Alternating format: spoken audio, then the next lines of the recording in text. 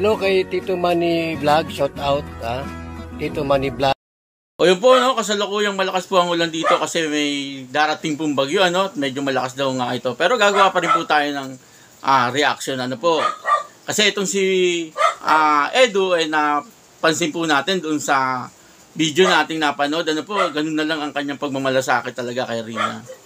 Kaya yun po, no, bago po ang lahat, ako muna po ay bumabati sa inyong lahat ng magandang umaga, magandang tanghali, at uh, magandang gabi sa inyong lahat mga kapatid. Kung saan man kayo ng panig ng mundo naroroon ngayon ay mag-iingat kayo palagi at uh, pagpalain kayo ng ating Panginoon. Maraming maraming salamat po sa patuloy na tumatangkilik sa aking YouTube channel.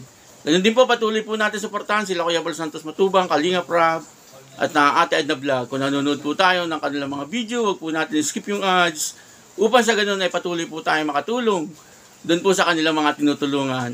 O ito po yung video. Ang video pong ito ay uh, map- mapapanood po natin yung kabuuan kay Kalinga Prab. Ano po? At talagang napakaganda po ng kwento ng video ito. Puntahan niyo po yung YouTube channel ni Kalinga Prab at uh, doon po buong buo niyo itong mapapanood. At kung hindi pa po natin sana isusubscribe, eh pakisubscribe na din po. O ito po. Oo. Opo, opo. Opo ka, opo. Upo ka lang dyan. Upo lang dyan. Nasa tina... Umuubo ka. Wala, wala na. Reyna, masaya ka Reyna? Kaya ako sobrang masaya. Ay, sobrang masaya daw. Ginagawa mo. Eh, Napikit-pikit ay. ka na muna. Nakatanak, tutulog na doon. Tulog muna. na, napikit-pikit. Nakatanak, tutulog na doon. Hindi kami maalis dito, tulugan muna. Tay. Ka na muna. Nakatanak, tutulog na doon. Tulog Buhay muna. na, napikit-pikit. Nakatanak, tutulog na doon. Hindi kami maalis dito, tulugan muna.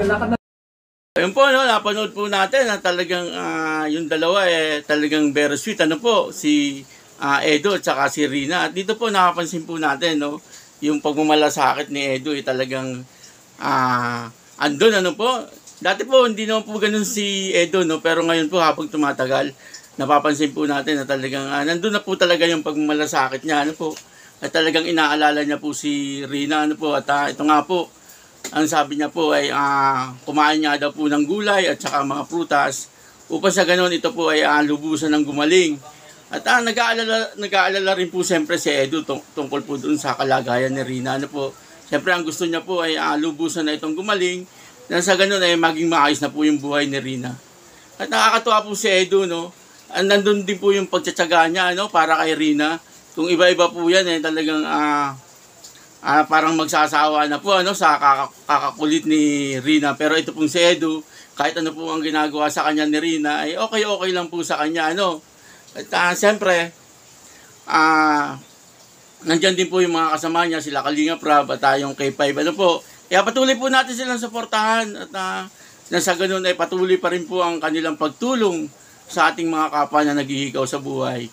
Nanonood, nanonood po tayo ng video nila Kalinga Prab, Kuya Bal Santos Matubang at ang Ate Edna Vlog at ang Team Kalinga, huwag po natin skip yung ads kasi sa pamamagitan po noon, eh nakakatulong po tayo sa kanila. Ano po, kung wala po tayong mga pera na pantulong, manood lang po tayo ng kanilang mga video wag na hindi po natin ini-skip yung ads. Eh napakalaking tulong na po yun para sa kanila. Sige po, maraming maraming salamat po.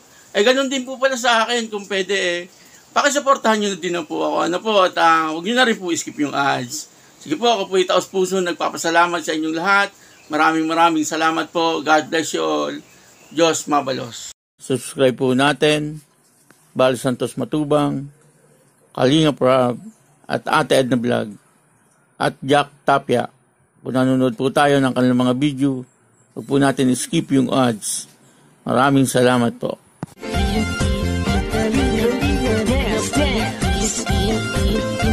Salamat sa lahat ng sakripisyo nyo. Kuya Bal Santos Matubang